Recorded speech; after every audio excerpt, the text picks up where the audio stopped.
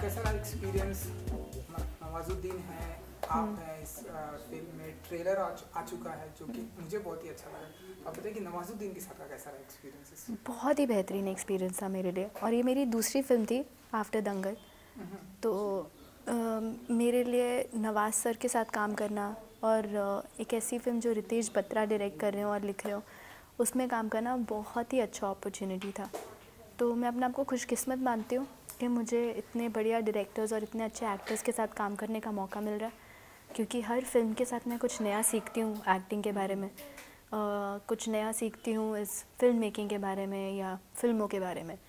तो मुझे बहुत अच्छा लगा काम करके इस फ़िल्म पे। एंड जब आपको बताया गया कि इस फोटोग्राफ में आप होंगी और आपके साथ नवाजुद्दीन होंगे तो कुछ नर्वसनेस फील थी या फिर आप एक्साइटेड थे? ओ नवाजुद्दीन के साथ में काम करना। एक्साइटेड भी थी बहुत खुश थी, क्योंकि जैसे मैंने कहा, मेरी सेकेंड फ़िल्म है और to get a role opposite Nawazuddin Siddiqui तो मुझे ये तो पक्का पता था कि मुझे बहुत सीखने को मिलेगा। मेरे लिए बहुत ही बेहतरीन जर्नी होगा। पर उस at the same time I was very nervous क्योंकि काफ़ी कुछ चीज़ें थी जो रितेश नहीं चाहते थे हमारे कैरेक्टर्स की वजह से हम करें। वो ये था कि वो नहीं चाहते थे कि हम पहले मिलें और एक दूसरे से इंटरेक्ट करें। वो चाहते थे कि हम सेट पे ही मिलें। और सेट पे हम पहली मुलाकात करें। दो हम मिलते रहते थे छोटी छोटी छोटी मीटिंग्स पर कभी मैंने बैठ के उनके साथ बात नहीं करी थी। तो वही हुआ और to make myself comfortable मैंने एक दिन बैठ के उनके सारे इंटरव्यूज़ देखे। एज अ रिसर्च जब मैं अपने कैरेक्टर uh, के लिए प्रिपेयर कर रही थी और uh, कोशिश करी कि मैं जानूँ कि वो कैसा काम करते हैं और कैसे अपने रोल्स के लिए प्रिपेयर करते हैं।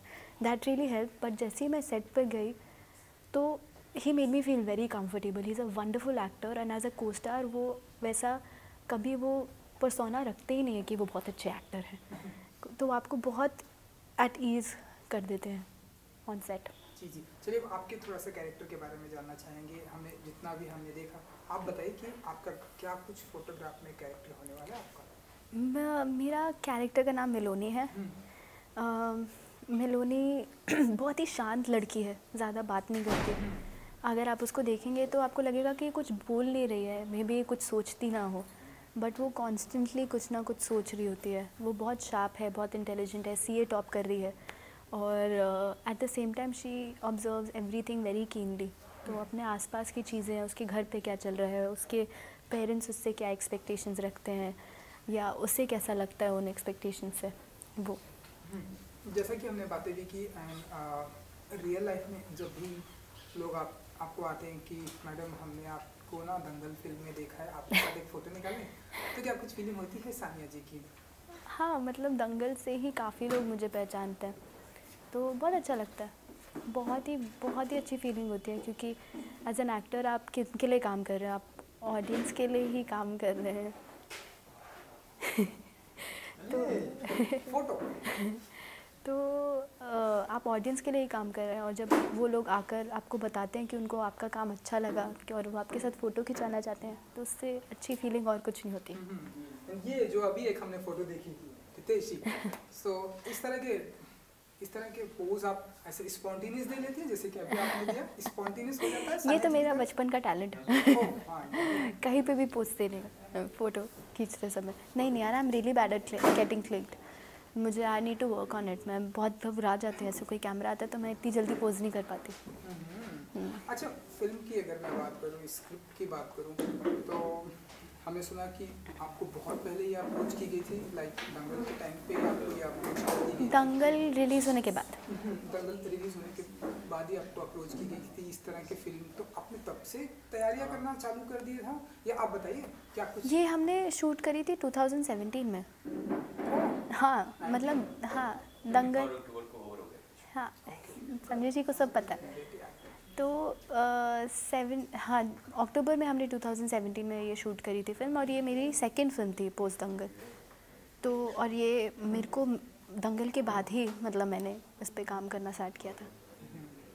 उसके बाद मतलब बड़ी सारी फ़िल्में आ गई। उसके बाद बधाई हुई बधाई हो के बाद पटाखा हुई पर पटाखा सबसे पहले आई पटाखा सबसे पहले क्योंकि जब भी आप अपनी टाइम की प्रॉब्लम है जब भी आप अपनी ऐसी कोई फ़ोटो न्यूज़पेपर में इंस्टाग्राम में कहीं भी आप देखती हैं हम्म। आपको फ़ोटो जब पसंद नहीं आती है हम्म। कि अरे यार ये आपका पोज अच्छा नहीं है। पसंद नहीं आती तो या फिर जब फ़ोटो पसंद आती है जो भी है। आप तो क्या कुछ फीलिंग होती है यार कि यहाँ पर थोड़ा चेंजेस होना चाहिए था? ये फोटोग्राफर ने कैसी फ़ोटो निकाल ली? ये नहीं मैं पता है कभी नहीं सोचती इस बारे में। हम्म। तो मुझे लगता है हम खुद की फ़ोटो देख के ज़्यादा जज करते हैं। लोग इतना कुछ अप, हमारी हाँ। चीज़ों को जज नहीं कर पाते। हाँ तो है। तो मुझे लगता है हाय मेरे बाल नहीं ठीक लग रहे पर वो दूसरे लोग नहीं देख पाएँगे कि वो मेरे बाल ठीक लग रहे नहीं लग रहा। तो मैं इन चीज़ों पर ज़्यादा ध्यान देती नहीं हूँ। चलिए क्विक सिर्फ़ दो सवाल कि ये जो फ़िल्म जो है ट्रेलर आया है, लेकिन ट्रेलर आने से पहले जो फ़िल्म बर्लिन में जा चुकी है संडे में जा चुकी है सो फ़िल्म को एप्रिस आज ही फ़िल्म जो है सोशल नेटवर्किंग मीडिया पर प्लेटफॉर्म पर हर जगह अप्रिसिएट किया गया है। मुझे भी बहुत ही पसंद आई है। क्या कुछ फीलिंग होती है? फ़िल्म रिलीज़ होने से पहले ही जब इतने सारे फेस्टिवल्स में जा चुकी लोगों को पसंद आ रही हो तो। बहुत अच्छा फीलिंग होता है। इनफैक्ट सनडांस और बर्लिन दोनों में we watch the film with a different audience all together वो एक ऐसी ऑडियंस थी जो हिंदी बोल भी नहीं पाती थी। तो हमें ये लग रहा था कि, मुझे ये लग रहा था कि वो कैसे कनेक्ट करेंगे अ स्टोरी जो बॉम्बे में सेट है। लोग हिंदी बोल रहे हैं उनको जोक समझ आएँगे, नहीं आएँगे, उनको वो इमोशन समझ आएगा, नहीं आएगा। बट मुझे लगता है फ़िल्मों का, प्यार का और ये जितने भी इमोशंस हैं, इनकी कोई बाउंड्री नहीं है। कोई लैंग्वेज उसको डिफ़ाइन नहीं कर सकता। मतलब अगर कनेक्शन बनना है तो अगर आप हिंदी बोलते भी ना हो, ये तो फ़िल्म देखकर आप वो एक्सपीरियंस कर सकते हो। तो बहुत ही अच्छा एक्सपीरियंस था। सनडांस में बहुत सारे लोगों ने फ़िल्म देखी। अठारह सौ कुछ लोगों ने फ़िल्म देखी, जहाँ हमारा प्रीमियर हुआ। और पोलैंड में भी बहुत ही बड़ा वेन्यू था और बहुत सारे लोग वहाँ पे देख रहे थे। तो जब हम देख रहे थे कि लोगों को इतनी पसंद आ रही है तो आई वाज जस्ट होपिंग कि व्हेन जब हमारी फ़िल्म इंडिया आएगी तो वही कनेक्शन अपनी ऑडियंस को भी फील हो इस फ़िल्म से। और आई एम श्योर होगा uh, क्योंकि बहुत ही रिफ्रेशिंग है as an audience when you watch the film you want to know these two characters you want to be a part of their life and uh, want to know them more.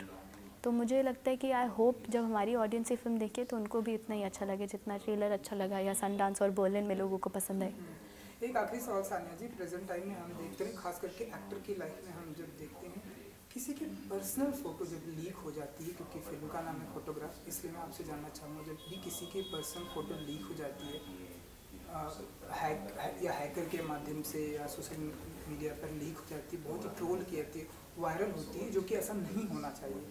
तब ऐसे लोगों को क्या कुछ कहना चाहेंगे, जो लोग मुझे समझ नहीं आया टू बी ऑनेस्ट आपका क्वेश्चन मतलब जो लोग फ़ोटो लीक कर देते हैं हाँ। तो जो हैकर्स जो होते हैं फ़ोटो को लीक कर देते हैं खास करके हम कई बार देखते हैं ढेरों सारे एक्टर की फ़ोटो लीक हो जाती है।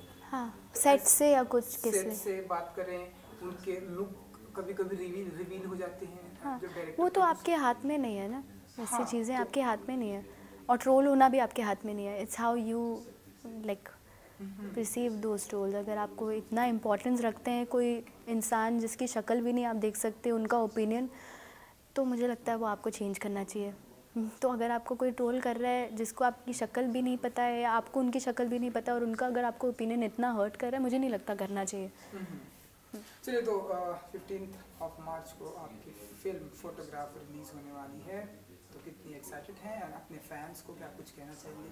जो बोलते हैं एक फ़ोटो ले लें आपके साथ। मैं बस ये कहना चाहूँगी कि ये फ़िल्म मेरे लिए बहुत बहुत स्पेशल है। अगर आप लोगों ने ट्रेलर नहीं देखा है फ़ोटोग्राफ का तो प्लीज़ प्लीज़ जाके देखिए। यूट्यूब पर है ये ट्रेलर और फिफ्टीन मार्च को ये आ रही है। फ़िल्म में नवाजुद्दीन सिद्दीकी हैं।